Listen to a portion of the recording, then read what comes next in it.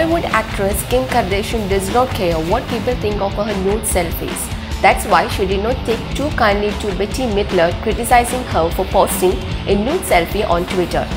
Midler tweeted that if Kim wants us to see a part of her we have never seen, she is gonna have to swallow the camera.